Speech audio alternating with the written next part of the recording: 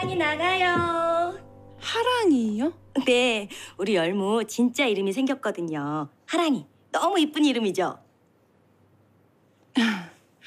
이리 와, 열무야. 저기 열무 엄마.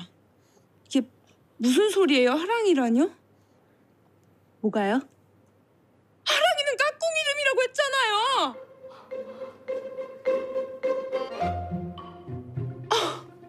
까꿍 이름 말해달라고 그렇게 조르더니 훔쳐가려고 물어본 거였어요? 아니 훔치긴 뭘 훔쳐요?